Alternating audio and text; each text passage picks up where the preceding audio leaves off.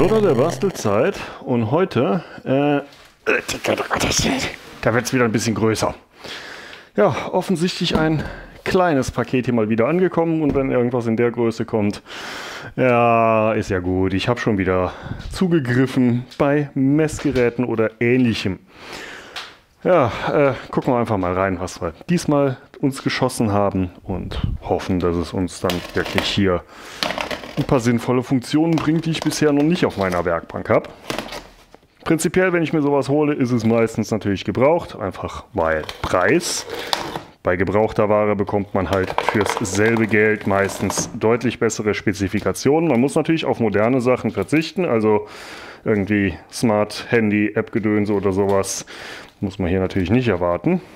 Aber wenn dafür dann halt die Messergebnisse stimmen oder die technischen Spezifikationen sonst so, dann ist das doch gut.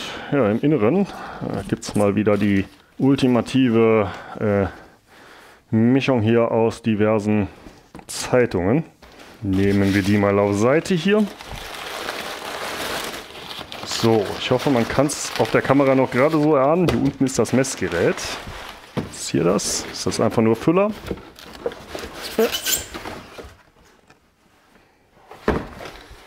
Das war nur Füller. Okay, Messgerät hier und sogar ein Kaltgerätekabel. Hey, äh, ja, why not? Gut, äh, Messgerät ist aber tatsächlich der falsche Name, denn das hier ist, ja, hier kann man es schon, denke ich, erahnen. Hier steht nämlich etwas von System DC Power Supply. Ja, das ist ein Netzteil. Gut, ich befreie das mal hier von dem restlichen Geraffel und äh, dann gucken wir uns das mal genauer an, was ich denn da habe. Ja, wenn wir hier gucken, da haben wir jetzt die Vorderseite. HP äh, 6633A, ein DC Power Supply, also ein Netzteil, was bei dem aber anders ist oder ungewöhnlich für mich. 50 Volt, 2 Ampere, also 100 Watt. Äh, ich hatte ja schon ein anderes Gerät, das äh, war zwar eher ein irgendwie Mobile System DC Gedönse, entsprechend genau, aber der kommt nur, wenn ich richtig im Kopf habe, bis 20 Volt oder sowas. Das ist manchmal ein bisschen einschränkend. Ja, das hier ging gerade günstig auf einer Auktionsplattform durch. Ehrlich gesagt, ich hätte lieber noch eine Nummer größer gehabt. Das hätte dann zwar nur 1 Ampere, aber dafür bis 100 Volt. Das wäre cool gewesen. Mal Augen offen halten. Aber das hier ist schon eine gute Erweiterung, mal bis 50 Volt hochzukommen ja, äh, wir haben einen kompletten Line-Switch hier. Also das Ding hat wirklich einen Stromschalter, der alles ausschaltet, wie es aussieht. Display, äh, wahrscheinlich LC-Display, so wie es aussieht.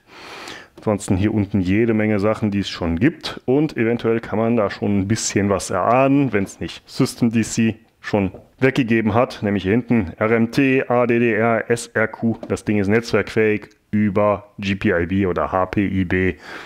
Und äh, ja, dafür habe ich ja schon ein Netzwerk, von daher keine schlechte Sache, das hier schon mal zu haben. Ansonsten, ja, CV Constant Voltage, Constant Current, Unregulated, Disabled, Overvoltage, Overcurrent, Overcurrent Protection, Over Temperature vermute ich und ein allgemeiner Error und wir sehen Volt und Ampere. Das Ganze muss man natürlich auch bedienen können und anscheinend hat es jemand bedient. Wenn wir nämlich mal hier rüber gehen, dann sieht das hier so aus.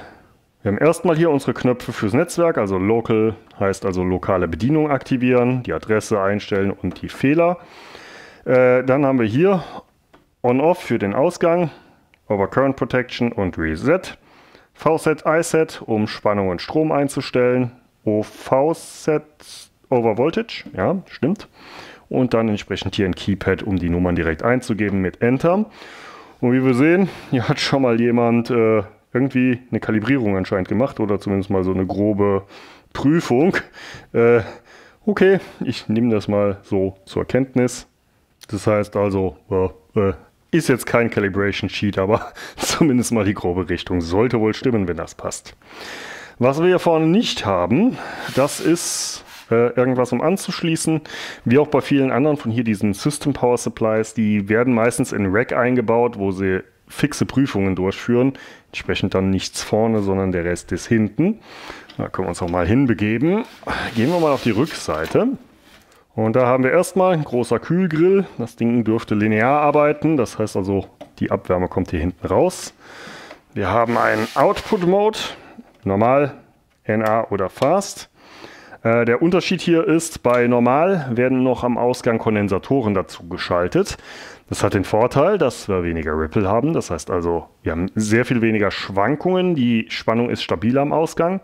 Heißt aber auch, naja, wenn wir einen Kurzschluss oder irgendwas haben, dann entlädt sich erstmal die Energie von dem Kondensator in eure Schaltung, die ihr hinten drin habt. Deswegen kann man auf Fast schalten. Fast heißt, er kann schneller reagieren, einfach weil nichts am Ausgang ist. Dafür muss man aber damit klarkommen, dass da mehr an Schwankungen drin sind. Daneben haben wir dann den Ausgang, wie wir sehen können, äh, plus minus 240 Volt DC Max to Earth. Das heißt also, mehr sollten wir gegen Erde nicht machen. Und wir haben ein Plus Minus in der Mitte und Plus Minus Sense. Damit können wir entsprechend in der Ferne messen. Das heißt also, wir können von Kabeln zum Beispiel den Spannungsabfall wegrechnen. Wie unschwer zu erkennen ist, ist da schon etwas dran und es ist gar nicht mal so schlecht. Wenn wir uns nämlich die andere Seite mal holen, haben wir das hier. Das sind zwei Bananenbuchsen. Äh, sehen erstmal regulär aus, aber wir sehen, hier gehen jeweils zwei Drähte rein. Das heißt also, in der Buchse hier findet der Sense statt. Das heißt also, was auch immer wir auf dem Display einstellen, kommt hier vorne bei den Bananenbuchsen auch raus oder Steckern. Und äh, ja, alles, was hier bei dem Kabel verloren geht, das wird entsprechend kompensiert. Ja, daneben haben wir dann noch den HPIB, aka GPIB, eine Fuse und last but not least hier hinten Line. Äh, das Ganze ist ein Modell für 220 Volt, 240 wäre mir lieber, aber äh, hey, äh, so viel sollte es eigentlich nicht ausmachen. Das Ganze glücklicherweise mit einem Kaltgerätestecker. Damit können wir leben. Gut, ähm, Prinzipiell würde ich sagen, das Ding ist jetzt einsatzfähig, aber äh, ihr kennt mich. Wir nehmen es jetzt erstmal auseinander, nur um sicher zu gehen, dass nicht innen drin noch irgendwas kaputt ist. Speaking of auseinandernehmen, so wie die Schraube hier aussieht, wurde das Ding hier schon ein paar Mal auseinandergenommen. Ich gehe also entsprechend nicht davon aus, dass da groß was noch mit Kalibrierung oder so stimmen sollte. Wobei ich ehrlich gesagt gerade auch nicht auf dem Schirm habe, äh, wie das überhaupt aussieht, wie genau das Ding sein sollte. Mir ging es hier ehrlich gesagt tatsächlich mehr darum, das Ding programmierbar zu haben über GPID, dass ich da entsprechend äh, einfacher Tests machen kann. Na gut, nehmen wir mal, mal, mal, mal, was ist das?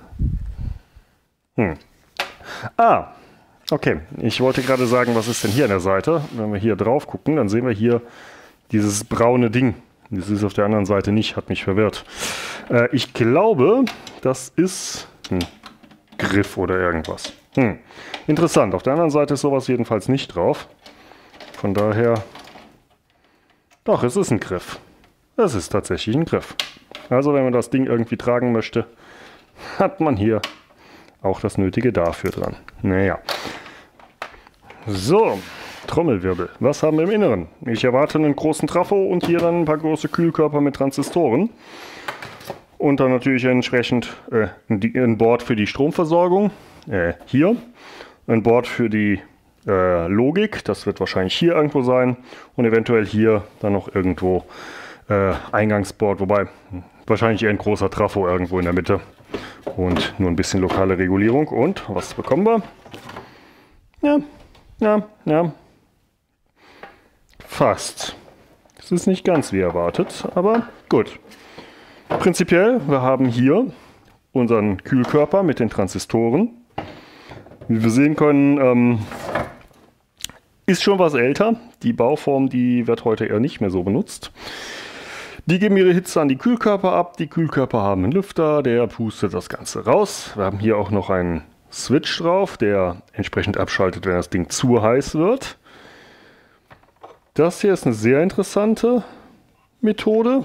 Da hat jemand wahrscheinlich einen 4,7 Ohm, äh, nee, 47 Ohm Widerstand dazwischen gemacht, eventuell um den Lüfter langsamer zu bekommen.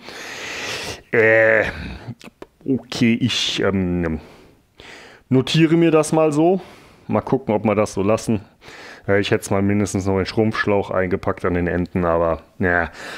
Äh, wahrscheinlich werde ich eher gucken, ob wir den temperaturgeregelt hinbekommen oder sowas, wenn das sein muss. Gut, was haben wir denn noch hier?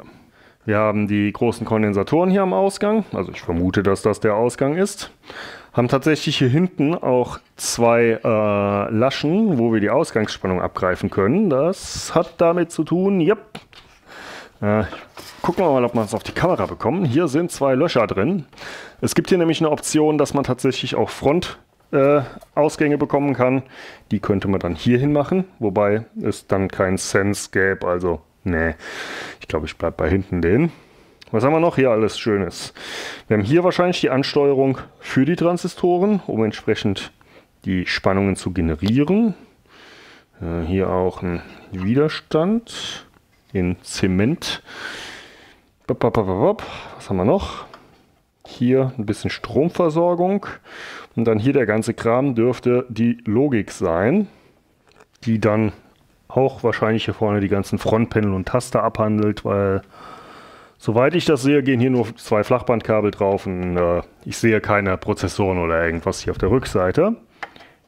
Im linken Bereich dann der große Trafo, wie erwartet. Und äh, hier unten, ah, nett, ein Umschalter für die ganzen Spannungen. Das heißt also, wir können das tatsächlich in 240 äh, Volt Gerät dann ändern. Es ist schon auf 240 Volt gestellt. Nett. Was haben wir noch? Äh, haben wir hier irgendwo Datecodes? Lasst mal gucken. 1989, wie es aussieht. 8918. Äh, noch irgendwo was. Da 88. Ne, 8906, 8906, 8906, 8918, also 1989 dürfte hier das hergestellt worden sein. Hat also jetzt auch schon ein paar Jährchen auf dem Buckel. Eventuell sogar schon Reparaturen, weil der Kondensator sieht mir nicht so original aus. Vielleicht, dass der sogar schon mal getauscht wurde. Vom Design her sieht der zu neu aus. Ja, gut. Äh, ja, was Interessantes sieht man hier aber noch. Hier unten ist äh, etwas, wo wir Dinge umstecken können. Und zwar Modus mit Tests. SA, No TST, Norm oder No CPL. Ist auf normal gesteckt, sollte also passen. Gut. Ähm, was mich jetzt ehrlich gesagt gerade ein bisschen wundert, ist, dass äh, es nicht Dinge gibt, die nicht bestückt sind, um es mal so rum zu sagen. Ich hätte erwartet, dass jetzt hier irgendwas nicht bestückt ist für die 100 Volt Variante, um die entsprechend da umzubauen. Respektive, dass sie nicht mehrere Boards für verschiedene Modelle brauchen.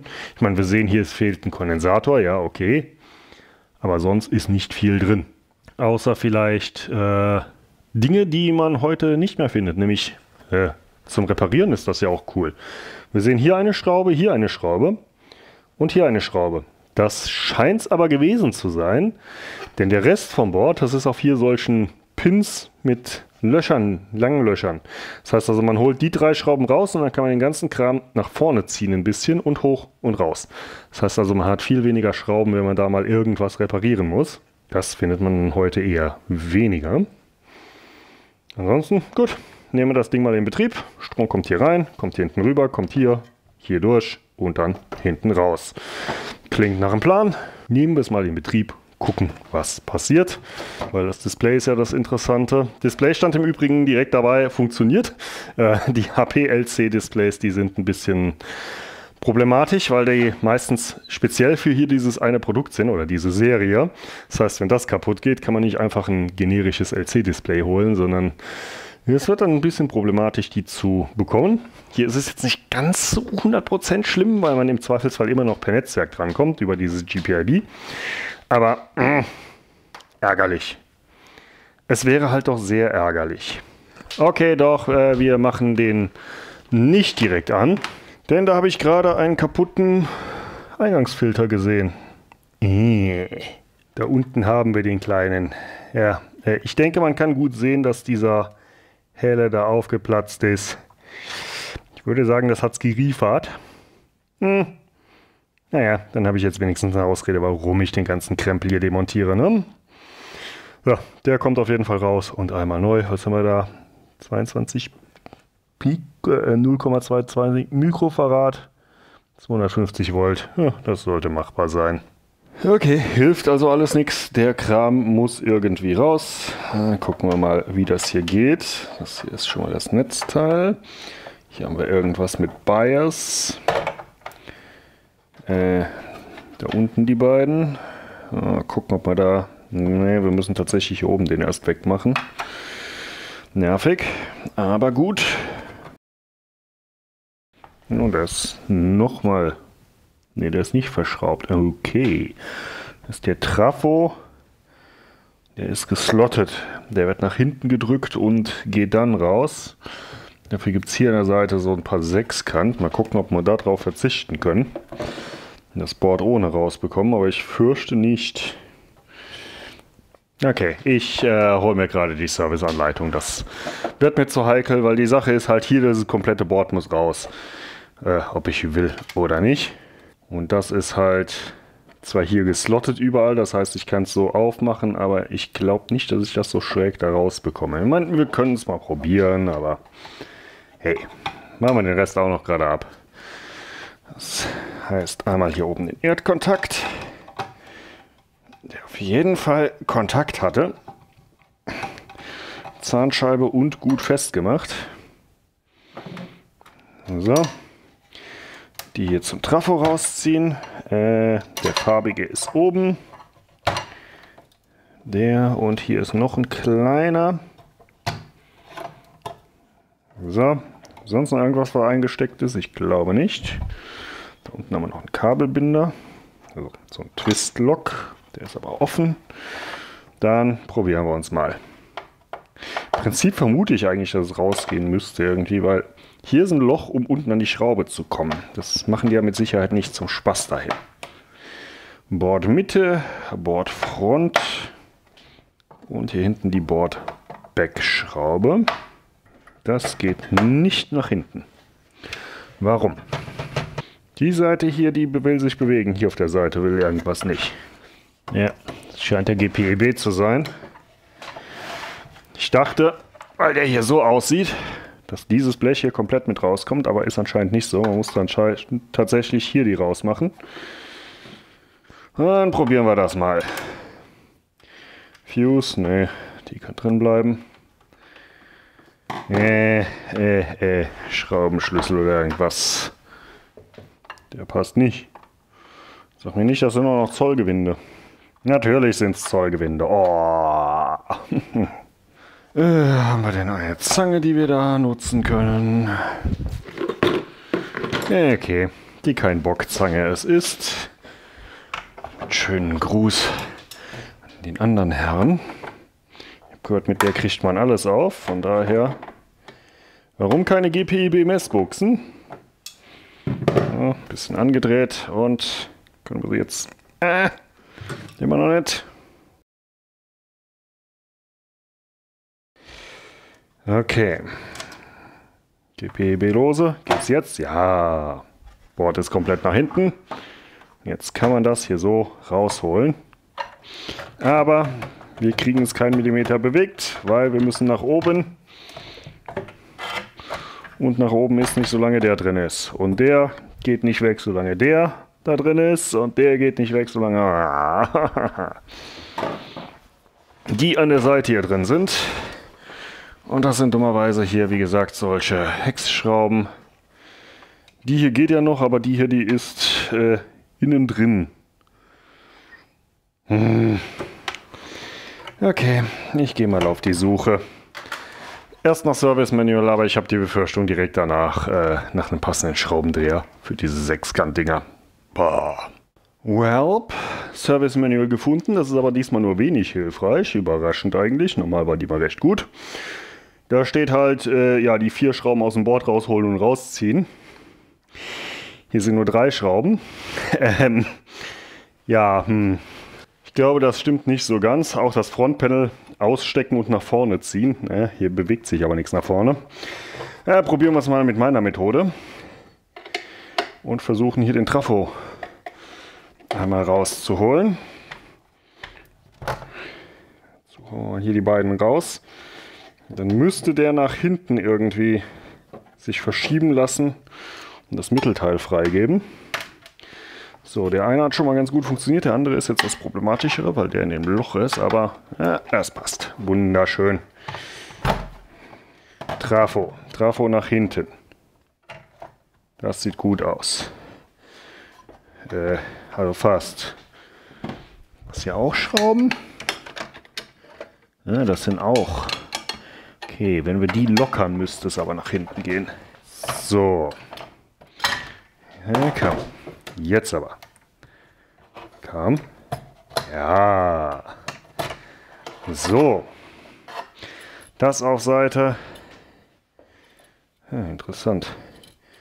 Die sind anscheinend irgendwie nur gekrimmt und lassen sich drehen. Okay. Ähm, das heißt, der kann im Prinzip drin bleiben. Eigentlich müssten wir jetzt hier das rausbekommen. Gucken wir mal, ob ich da Erfolg habe. Wobei machen wir erstmal jetzt hier, wenn wir unten dran kommen, die Frontpanel-Konnektoren ab. Der, der von hier kommt, ist der linke, das andere ist der rechte. Okay. Alles lose, alles lose, alles lose, alles lose. Lecker. Irgendwo hängt er noch. Hier komme ich nicht weit genug nach hinten. Okay, der Trafo geht doch. Der ist im Weg.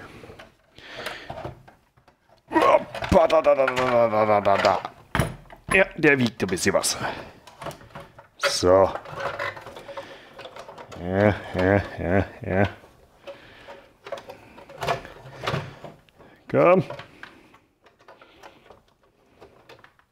Nicht festhängen. Yay. So, endlich. Ja, viel weiter kann man das Ding, glaube ich, nicht zerlegen, aber hey. Äh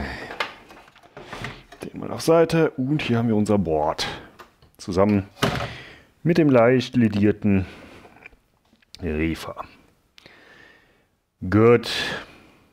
Raus damit. Und mein Lötkolben sind ja nur zwei Lötstellen. Und was haben wir gesagt? 0,22 μ. Es ist sogar ein Original Reefer. 0,22 Mikrofarad 250 Volt. Gerade mal gucken, habe ich bestimmt noch da. Und yep, ich glaube, das müsste passen. Dann gehen wir mal auf die Suche und versuchen, das hier raus zu operieren. Muss hier natürlich ein bisschen aufpassen. Das Board ist sehr groß und der Kühlkörper auch. Da muss man natürlich ein bisschen aufpassen, dass man das Board nicht zu sehr biegt. Äh, irgendwann gehen die Traces halt kaputt. Ich gehe zwar davon aus, das ist nur zweilagig, also das kriegt man im Zweifel auch repariert, aber... Eh. So. Bewegst du dich freiwillig oder müssen wir nachhelfen?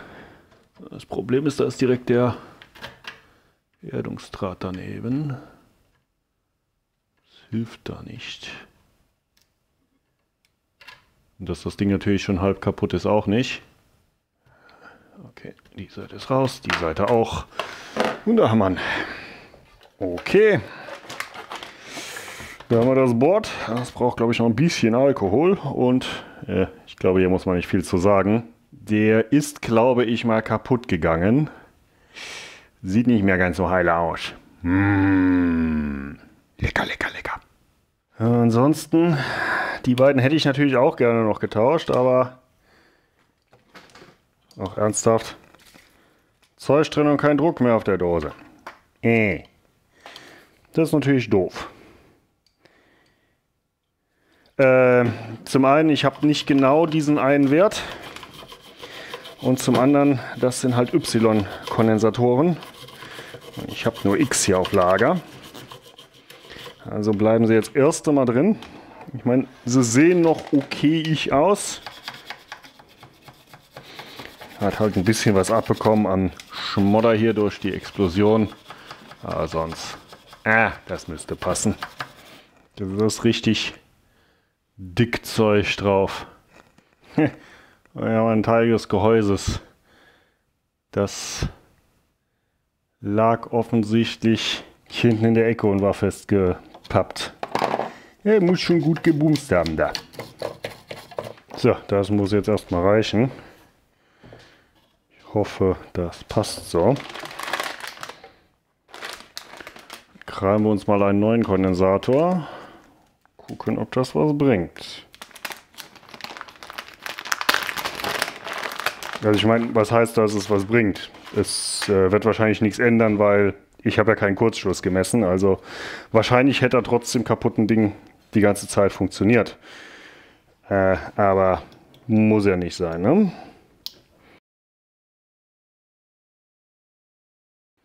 Ja, so müsste das passen. Tief genug drin. Äh, okay, ansonsten auf der Rückseite irgendwas Interessantes. Ja, hält sich in Grenzen, halt hier in dem Bereich sehr dicke Traces für die ganzen ja, Ausgangssachen. Hier sehen wir ab und zu mal ein Guard Trace, also wo vermutlich Erde oder sowas in einem Ring um andere Sachen gezogen wird, einfach um Störungen zu vermeiden. Ein bisschen Stress auf dem Board gehabt bei den Verbindern hier, aber das sieht alles noch im akzeptablen Rahmen aus. Na gut, dann würde ich sagen, wir nehmen uns unser Ding mit dem neuen Kondensator. Ich kann nochmal kontrollieren. Ja, der ist fest genug jetzt. Dann zurück damit ins Gehäuse.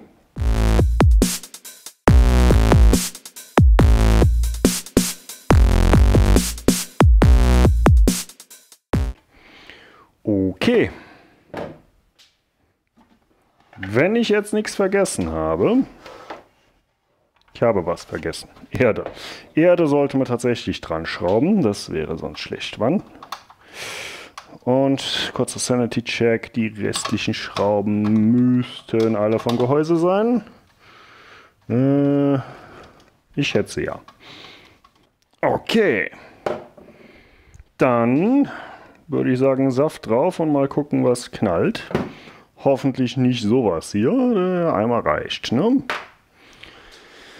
So, was brauchen wir denn? Wir brauchen ein Kaltgerätekabel. Haben wir hier. So, gehen wir direkt an Netz. Wir gehen direkt an Netz. Wir haben Vertrauen.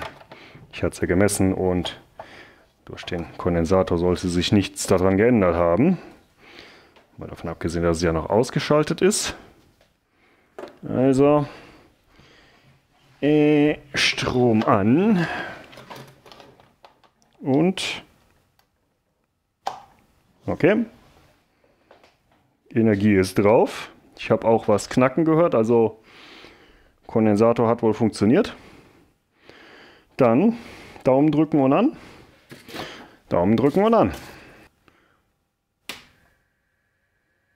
Okay. Das sieht gut aus. Lüfter ist angelaufen. 0,002 Volt, 0,001 Ampere, also ein Milliampere. Hm. Das Display flackert von mir aus, von mir aus gesehen ein bisschen, aber von gerade drauf guckt geht es eigentlich. Ich glaube in der Kamera ist es auch recht deutlich. Probieren wir mal. Volt-Set, 5 Volt. Enter. 4,994. Okay, Current 1 Amp. Ist gesetzt. Address 4 wissen wir, Error 0. Was ist hier on-off? Ah, da unten. Disable Constant Voltage. Das sieht schon mal alles ganz gut aus. Kommt kein Rauch raus, scheint zu laufen. Ich würde sagen, machen wir das Kabel nochmal dran und gucken, was hinten tatsächlich... Moment mal. Wie kann da 5 Volt rauskommen? Ich habe gar keine Sense-Line angeschlossen. Hm. Das ist seltsam. Na gut. Jetzt natürlich aufpassen. Hier ist an einigen Stellen Netzspannung drauf. Das möchte man vielleicht nicht irgendwo anpacken. Ja, und ich würde sagen, es ist nur fair, wenn wir dem HP-Netzteil mit einem HP-Messgerät hier zu Leibe rücken. Also nehmen wir uns mal das hier, versuchen das mal hier anzuklemmen. So, High-Low. Da dürfte jetzt aktuell nichts rauskommen, weil ich nichts da. Das sieht richtig aus.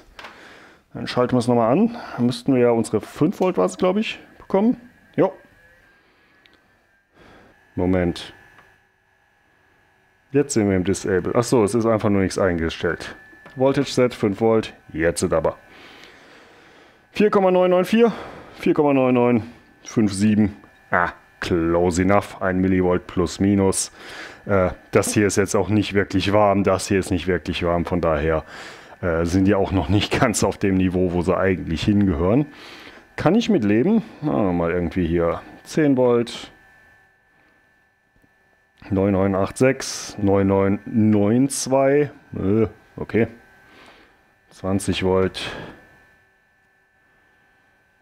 Ja, auch relativ dicht dran.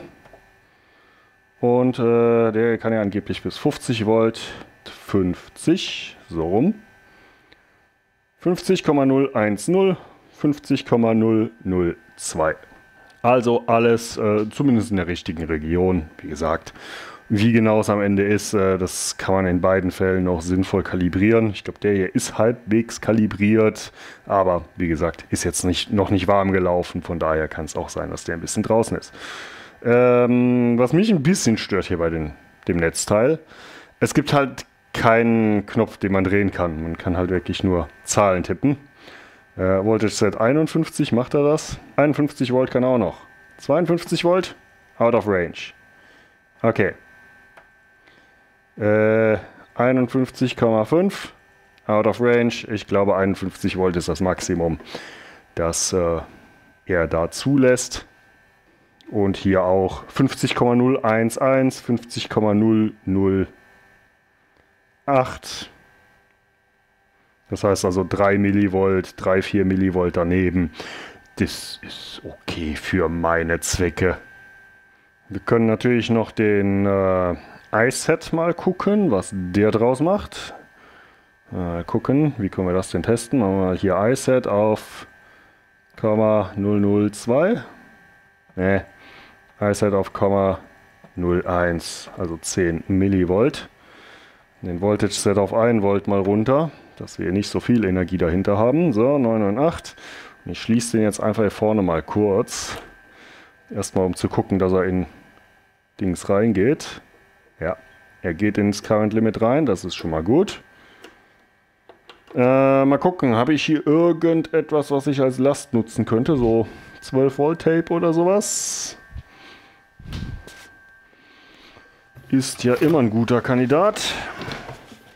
Dann können wir doch direkt mal gucken, ob das hier auch funktioniert. Wie machen wir das jetzt? Äh, wir gehen hier hin und machen äh, den einmal Ampere. Okay, also ich habe jetzt hier Ampere in. Die andere Minuspol ist direkt am LED-Tape und hier machen wir das LED-Tape auf die andere Seite. Ich hoffe, das hält so. Wir sind hier bei 8 bis 9 mA, hier sind wir bei 9,6 mA, passt. Machen wir mal 1 Ampere. Hell wird's. 739, 73839, ja, das ist äh, alles im richtigen Bereich. Und wenn wir jetzt hier sagen, 0,5, dann dimmt er auch entsprechend runter, geht runter auf 10,711 Volt, 500 mA, 498 mA, also auch hier 2 mA daneben. Fein bei mir. So, und das Ding lief jetzt so eine Stunde in dem Modus. Es kommt nicht wirklich groß warme Luft hinten raus, also es ist alles noch okay, trotz des Lüfters, der hier hinten ja äh, eine Modifikation erfahren hat. dann würde ich mal sagen, Schalten wir mal aus, bauen den Rest wieder zusammen und dann sind wir, denke ich, für hier das Ding auch erstmal fertig. Die LEDs sind im Übrigen definitiv wärmer als der Kühlkörper da hinten. Oder zumindest die Luft, die rauskommt. Ich habe den Kühlkörper jetzt noch nicht berührt, was äh, in der Aufschrift liegt. Äh, ich gehe zwar davon aus, dass das tatsächlich dann etwas ist, was sich auf die größeren Modelle bezieht. Denn äh, Hazardous Voltage glaube ich eher jetzt nicht bei einem 50 Volt Modell. Zumindest äh, sollte da nichts sein. Würde mich sehr wundern, wenn da irgendwo was ist. Und äh, Überraschung, wir haben nichts zu L, nichts zu N, nichts zu Erde. Das Ding ist also komplett in der Luft, so wie das auch sein soll.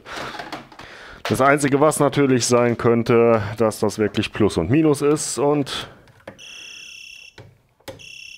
ja, das scheint also wirklich ein Plus und Minus wahrscheinlich zu sein. Und äh, ja, bei 50 Volt, ich müsste jetzt gucken, wo ist Berührspannung, Schutzkleinspannung für DC? Äh, sind wir da schon drüber? Ich meine bei 50 Volt noch nicht. Äh, aber 100 Volt Modell, ja, das könnte dann sein. Na gut, ich habe eh nicht so das große Bedürfnis, äh, da dran zu packen. Also machen wir den Deckel wieder drauf und gut ist. Ja, und ich würde sagen, damit haben wir das Ding hier auch fertig. Ähm, ja, schön portabel mit dem Griff hier, wie man sieht. Na naja, gut, vom Gewicht her vielleicht nicht. Der Trafo wiegt halt so ein paar Kilo. Äh, ja, das Ding ist nicht sonderlich effizient, ist halt ein Linearnetzteil, aber dafür offensichtlich zuverlässig. Ich meine, das Ding ist, wie gesagt, 35 Jahre alt und klappt immer noch. Und äh, ja, auch das, was rauskommt, dürfte wahrscheinlich ganz gut aussehen. Ich habe jetzt nichts gesehen, groß mit Ripple und äh, ja, das, was wir einstellen, kommt auch plus minus ein paar Millivolt da raus. Und wie gesagt, ich habe es jetzt nicht groß äh, detailliert getestet. Eigentlich geht das so. Und äh, ja, gut, ich äh, kann damit jetzt hoffentlich ein bisschen mehr Spannung rauskriegen. Wie gesagt, der 50 Volt, meine anderen ein bisschen weniger. Und vor allen Dingen, es ist halt durch GPIB programmierbar. Das heißt also, äh, auch das Thema sollte man dann irgendwie hinbekommen und das Ding netzwerkfähig machen können. Gut, ich würde mal sagen, ich schleppe das jetzt irgendwo hin, wo es nicht im Weg ist und hoffe, dass es dann ein bisschen länger das tut, was es soll.